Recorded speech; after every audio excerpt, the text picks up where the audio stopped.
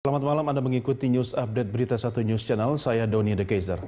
Kejaksaan Agung menetapkan mantan Direktur Utama PT Pertamina, Karen Galaila Agustiawan, sebagai tersangka dalam kasus korupsi terkait investasi perusahaan di Blok Basker Mantagami atau GMG Australia pada tahun 2009. Kasus investasi tersebut diperkirakan merugikan negara sebesar 568 miliar rupiah. Kepala Pusat Penerangan Hukum Kejaksaan Agung M. Rum mengatakan penetapan Karen sebagai tersangka berdasarkan surat perintah penetapan tersangka Direktur Penyidikan pada Jaksa Agung Muda Tindak Pidana Khusus tanggal 22 Maret 2018.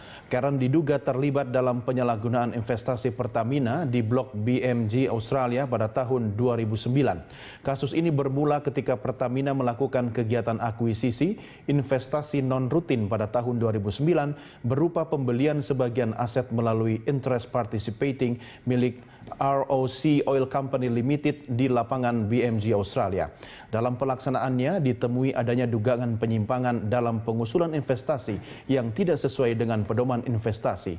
Alasannya pengambilan keputusan investasi tersebut tanpa didasari adanya kajian kelayakan berupa kajian secara lengkap.